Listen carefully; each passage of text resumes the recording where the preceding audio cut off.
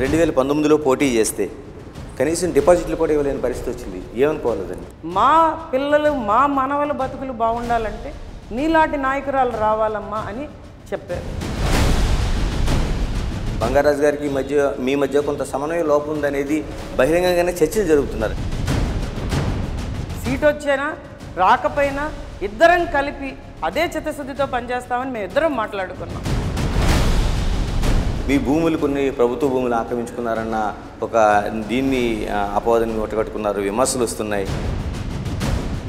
అప్పలనాయుడు గారు చేసిన mining mafia చిన్న పిల్లల్ని అడిగినా చెప్తారు. పెద్ద మైనింగ్ డాన్ అయినా.